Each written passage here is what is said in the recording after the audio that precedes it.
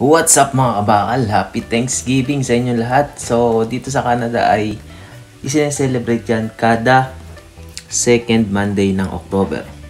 Dahil dyan ay napabili ako ng tomahawk beef steak. Usually, yung mga Canadian ay turkey yung hinahanda nila kapag ka Thanksgiving. Mga ganyan ang makikita mo sa mga grocery stores kapag Thanksgiving. So, gamit ko ay yan. Aasin na natin at uh, paminta. The Keg uh, Steakhouse yung binili kong pang uh, palasa. So, meron kaming konting salo-salo. May patla kami. Naisip kong dalhin na lang to doon sa salo-salo namin. At may chef din kasi tayong kasamahan Pilipino dito kaya magpapaturo tayo sa kanya kung paano magluto ng steak. Yun. So, isa't kalahating kilo itong steak na to. $486. I-times natin sa 42 pesos na palitan. Equals 3,600 na mahigit. Wow! Oh my God! so, okay lang yan. Paminsan-minsan lang naman eh. Tsaka, matagal ko ng pangarap makatikim nito eh. Hiwa-hiwaan natin para manuot lalo yung asin at wag daw nating tiperin sa paminta, sabi ni Google. at lamasin natin ng maigi nang mas lalong manuot yung asin at paminta sa kaloob-looban. Ayan si Chef Ronaldo. Hello po. Bali mo nagsasalo-salo po yung mga Pilipino dito sa Roy Noranda. Ayan na. So nag-prepare po tayo ng usual, namimiss natin yung Filipino foods. Pork, barbecue, meron din tayong barbecue steak na ginawa. Ano to, Ah, chicken? Ah, pork din. Ah, pork din. Pero puro meat siya. Ito naman medyo may fats. Pangontra sa ano. Tapos gumawa tayo ng mga sir, ah, strip loin. Uy. Strip loin to para sa gagawin nating ah, shawarma. Shawarma Ah. style. Meron tayong shawarma wrapper. Wow. At gumawa ako ng homemade na yung sauce para sa shawarma. Meron tayong spicy.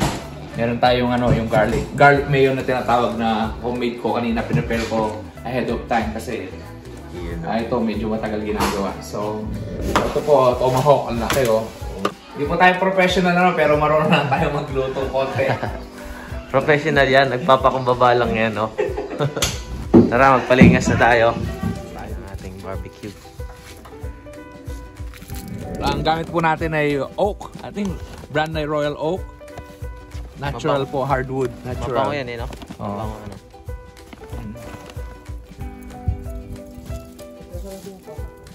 Ah, napaka swerte po natin at magandang panahon. Yun, no? Ah, nasa 10 degrees lang.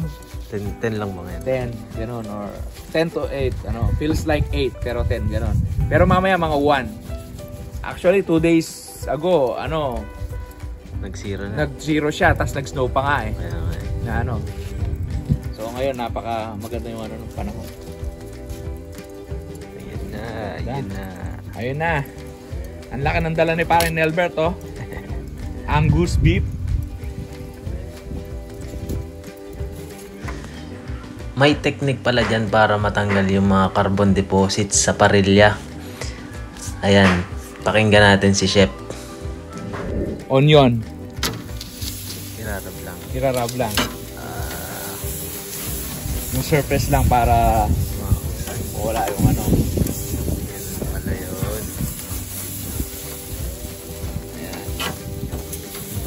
Mabango pa siya. Ayan o, andun na yung ano.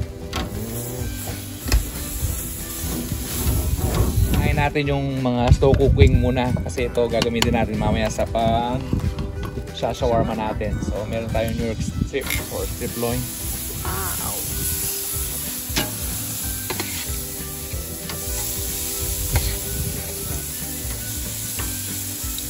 Marinated na yan.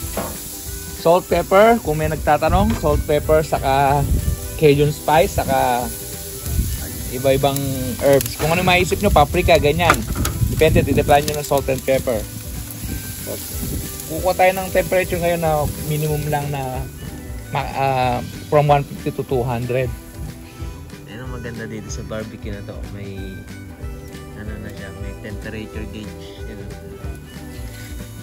150 to 200. Oo. Ayun. Fahrenheit. Few hours later.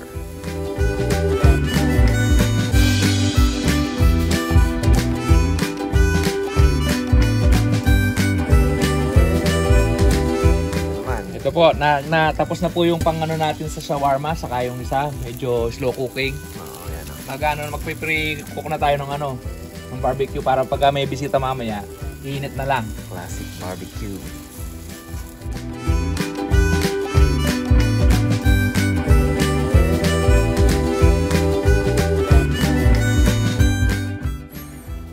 Ayun, well done na well done, no? Mukhang napadami yung huli pero para sa akin, ito yung pinakaluto ng ah, Pilipino. So, dyan magkakatalo yung pagkahiniwa na yan, no? Sa loob, ayun. Sarap.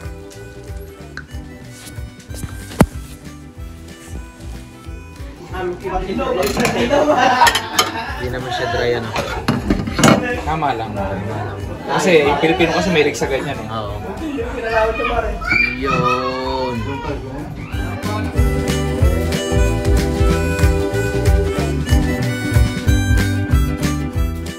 So, meron tayong lugaw.